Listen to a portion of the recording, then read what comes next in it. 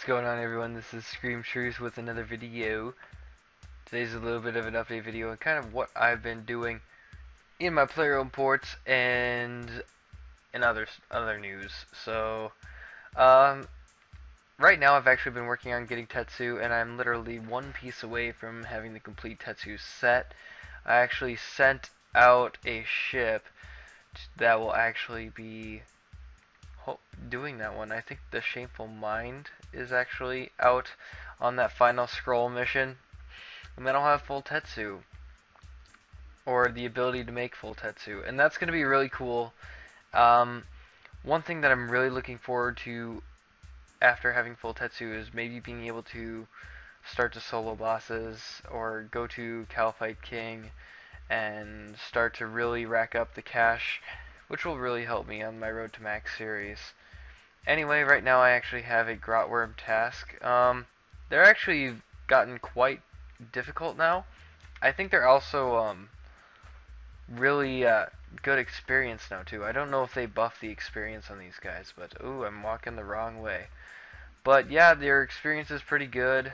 Um, I actually enjoy the task because there's not that many bots that are around anymore which is always a plus, you know.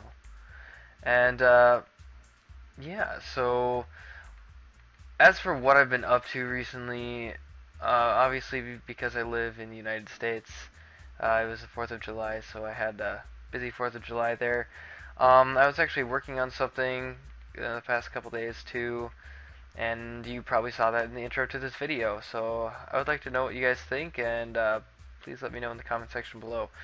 Anyway, podcast is going to be delayed. Um, I want to make sure Max Wright is on there because it's his last episode for the conclusion to the RuneScape's Change series, and that's going to be pretty important. So I make, don't want him to be missing that at all. And I'm not hitting these guys. What the heck? Okay, but that's pretty much it for updates. Like I said, just working on Slayer, um, getting getting close to uh, another Road to Max video. You know, when I feel content that I have enough content to make that Max video, I definitely will.